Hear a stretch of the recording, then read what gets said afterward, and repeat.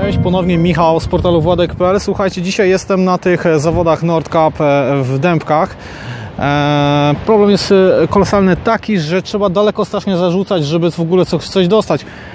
Tam widzicie, macie, macie w tle gdzieś tam mojego kolegę, współzawodnika.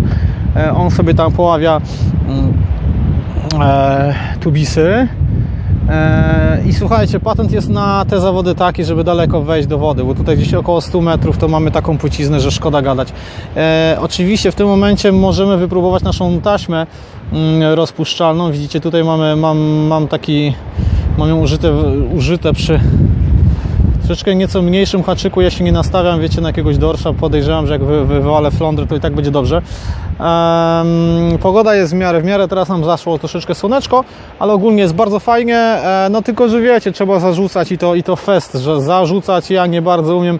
Zatem nie, nie wiem, czy to widać, ale jestem teraz na takiej górce, e, e, jest troszeczkę stromo do wody i mam dwie opcje, albo zarzucać z nadgórki, gdzie mogę sobie wymachnięcie zrobić troszeczkę większe albo z dołu, no ale wtedy no, zarzucając za głowy mam troszeczkę muszę e, mieć mniejszy przypon, e, bo on dotyka po prostu ziemi.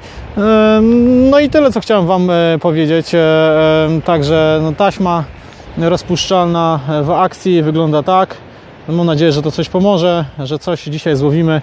Zresztą e, będę relacjonował to w kolejnych filmikach, także e, coś e, ciekawego może e, zobaczycie. E, Trzymajcie się, cześć.